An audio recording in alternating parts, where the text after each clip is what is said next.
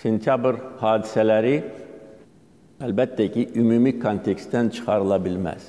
Yəni sentyabra qədər getdiyimiz yol məqsədyönlü yol idi, məqsədə hesablanmış yol idi, düzgün yol idi.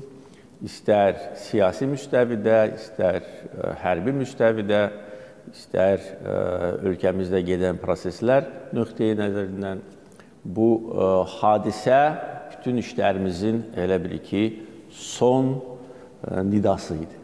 Və bu gün 2024-cü ili biz ə, suverenliyi tam bərpa etmiş ölkə kimi, xalq kimi ə, qarşılayırıq. Bu ilə başlayırıq və hesab edirəm ki, müasir tariximizin yeni dövrü məhz sentyabrın 20-sindən sonra başlayır.